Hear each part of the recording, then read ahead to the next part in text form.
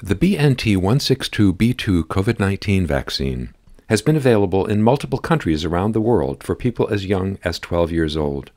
Safe, effective vaccines against COVID 19, the disease caused by SARS CoV 2, are also needed in younger people.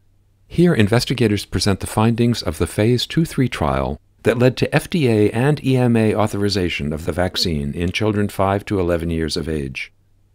In this international placebo controlled randomized trial, 2,268 children 5 to 11 years old were randomized to receive two intramuscular injections of 10 microgram doses of the BNT 162b2 vaccine, or placebo, administered 21 days apart.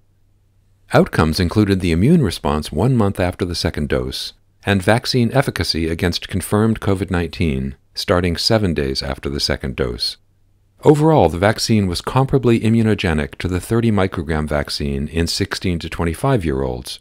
As compared with placebo, the vaccine had an efficacy of 90.7% in preventing symptomatic COVID 19 infection. Vaccine safety, assessed from the first dose through one month after the second dose, was high, with only transient and mostly mild to moderate adverse effects in some children. These included injection site pain, fever, fatigue, and headache.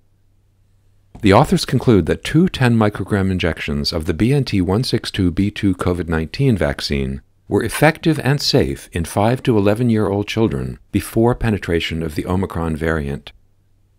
Full trial results are available at nejm.org.